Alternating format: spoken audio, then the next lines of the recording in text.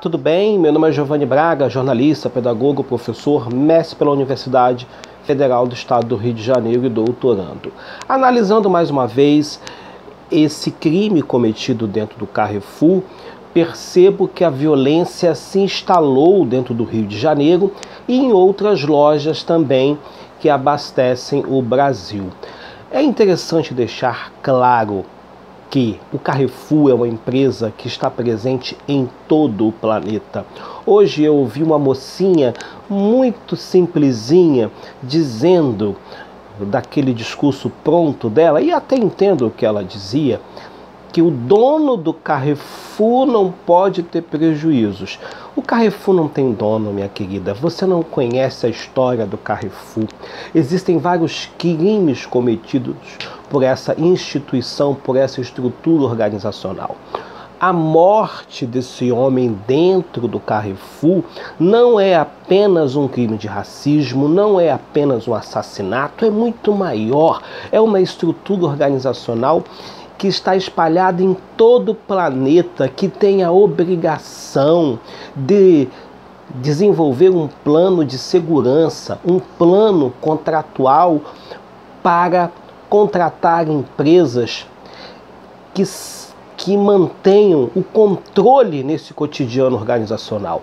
O segurança de uma empresa como Carrefour, ele tem a obrigação, não só do Carrefour, mas de qualquer outra estrutura organizacional, tem a obrigatoriedade de manter a resiliência. Eu já disse que o rapaz que foi brutalmente assassinado não era santo, mas isso não justifica a morte. É, os agentes de segurança deveriam ter mobilizado o cidadão e encaminhado para a devida instância jurídica. É interessante deixar claro para você que não conhece a história do Carrefour, que conheça agora. O Carrefour é uma rede, eu vou ler um pouquinho para vocês. O Carrefour é uma rede internacional de, de hipermercados fundada na França em 1960. Em 2004, o grupo detinha 10 mil unidades em 30 países e empregava 400 mil funcionários.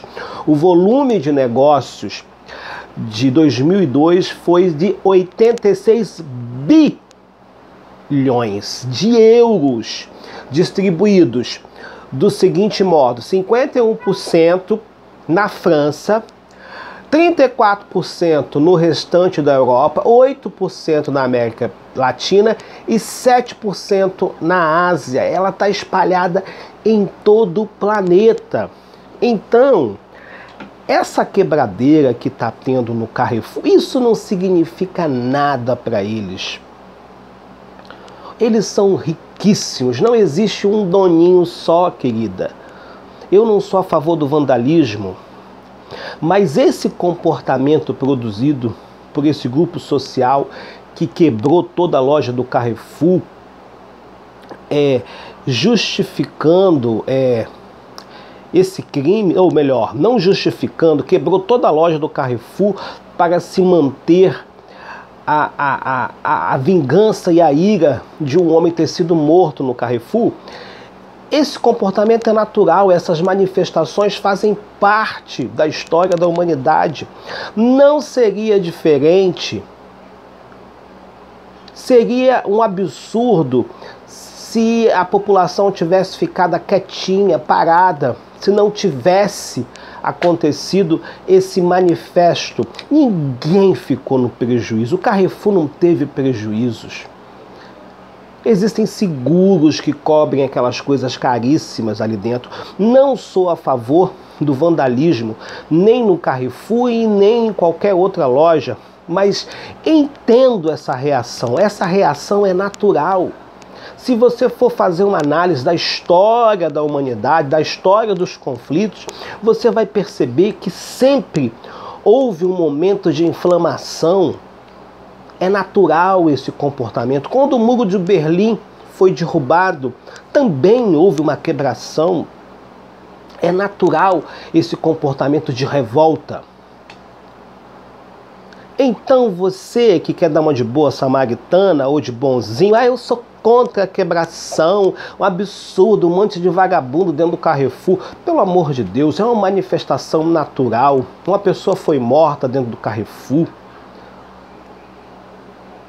Não justifica a, a, o, o, a ficha criminal do homem que foi morto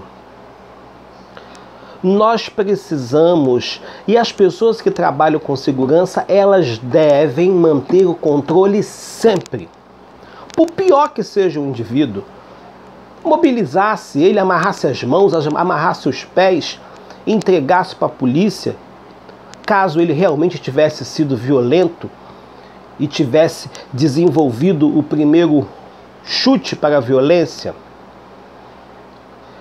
avalio essa questão de uma forma muito perigosa. Quantas vezes quando você vai a um shopping e você vai, vai aqui no shopping Vitória, você já foi maltratado? Quantas vezes aqueles seguranças arrogantes, eu mesmo quando eu fui fazer um, um vídeo dentro do shopping agora, o segurança vem me seguindo, vem me, me, vem me perseguindo até até eu entrar no meu carro, como se fosse um criminoso, eu estou pensando ainda se vou mover um processo ou não nesse shopping. Então, o, o, o problema é muito maior do que se pensa. Todos nós podemos ser vítimas de uma violência dentro do supermercado,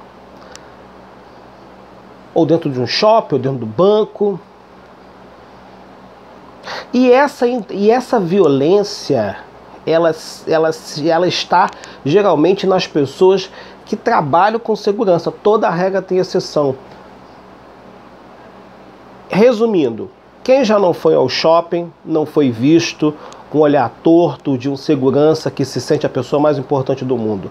Quem já não foi vítima de, um, de uma ação arrogante de um agente de segurança pública, quem já não foi vítima de uma arrogância, de, de um policial. Quem já foi vítima de uma arrogância, de, de um segurança de político, que eles acham que eles são as pessoas mais importantes do mundo, puxa saco vocês são.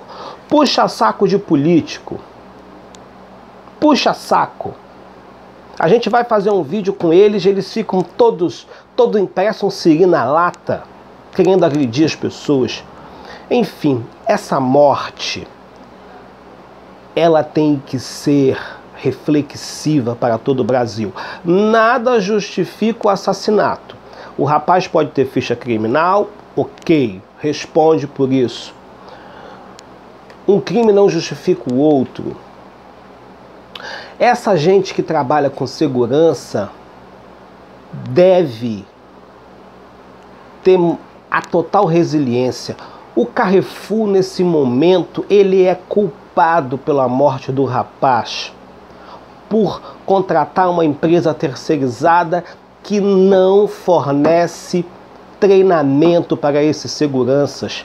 Agora me diga, o que, que um policial está fazendo como segurança lá dentro do Carrefour, trabalhando como segurança? Essa é uma outra problemática, porque policial ganha mal nesse país, policial tem que ganhar bem para não ter que ficar trabalhando de segurança, se aborrecendo dentro de uma loja no Carrefour, porque não deve ser fácil trabalhar dentro do Carrefour. Enfim, o Carrefour é uma empresa trilionária, eles não estão nem aí para nós, não está nem aí para ninguém, é tudo muito caríssimo. O homem foi morto, não interessa que ele tem ficha criminal e essa ação segue aí. Você pode levar uma surra dentro de um terminal de ônibus. Eu não ando de ônibus, mas tem gente que anda, que pode levar uma surra dentro do terminal de um segurança despreparado. É claro que toda regra tem exceção. Nós temos um caso aqui de um homem que levou uma, uma, uma, uma foi espancado dentro do terminal. Nada justifica. Se fez alguma coisa de errado, mobiliza o cidadão encaminha para as autoridades. Agora, esse caso não foi produzido por segurança do terminal. Alguém estava vestido com a roupa parecida e ele não pertencia ao quadro de, de vigilantes desse terminal. Enfim, a sociedade, as pessoas que trabalham na área de segurança, elas precisam ter a resiliência como ponto central de suas ações. Controle emocional. Se a pessoa está alterada, se afasta. Existem outros recursos. Gás de pimenta. Imobilização, mobiliza, camisa de força. É um dois contra um. O Carrefour tem tem, tem, tem culpa nessa morte? Sim. E, é, tem culpa. O homem, por maior que seja a ficha criminal dele, que ele tenha sido preso por porte de arma, que ele tenha agredido a mulher, que ele tenha é, é, feito outros delitos, mas nós estamos falando de uma morte dentro de um supermercado. Então, quer dizer, se algum dia eu chegar no supermercado e reclamar, me aborrecer, eu posso ser morto. Outro dia eu fui numa loja comprar um microfone, o rapaz falou: Não, eu vou comprar o um microfone. Eu, não, eu sei fazer. Eu falei: Você sabe fazer? Sei sim. Ele falou que ia fazer. Eu paguei na hora. No dia seguinte, foi, no dia seguinte eu fui buscar. E levei para casa. Não funcionou. Voltei lá, os donos ficaram mal, ficaram chateados. Então eu vou devolver seu dinheiro como se estivesse fazendo um favor para mim. E ele queria insistir que ele estava certo, e aí você vai se alterando. E esse tipo de gente não tem noção do que é o direito do outro, eles fazem o que eles querem. Então nós precisamos ter muito cuidado, porque senão você leva uma facada dentro de uma loja, do Carrefour ou de qualquer outra loja. Boate segurança de boate. Essa gente acha que eles podem tudo. Boate, se, se você tiver uma pequena alteração, eles matam você lá dentro. E fica por isso mesmo. Enfim, Carrefour é uma empresa bilionária, contrata muita gente, vai ter que pagar indenização para a família, sim. E eles precisam desenvolver um plano emergencial para contratar empresas de segurança que tenham pessoas competentes. Infelizmente, o policial estava envolvido aí, que trabalhava de segurança. Infelizmente, triste. Triste que é um policial, um homem que passou num concurso, uma pessoa séria, perdeu o controle. Tem que trabalhar em Carrefour policial desde quando? O policial tem que ganhar bem, tem que dar 10 mil para um policial, para ele não ter que ficar trabalhando, fazer bico dentro do Carrefour. Ele tem que ganhar 10 mil reais. O policial brasileiro tem que ganhar 10 mil reais. E é pouco para subir morro, para se aborrecer e por aí vai. Lamentamos a morte do homem, lamentamos o episódio do assassinato promovido por, por esses, esses dois seguranças né, que são acusados. Quem vai definir que, que, que matou não é a justiça. Enfim, lamentamos o episódio. É, temos que ter cuidado. Até mais ver, meu nome é Giovanni Leonardo Braga. Compartilhe o nosso vídeo, se inscreva no nosso canal. Obrigado, até mais ver.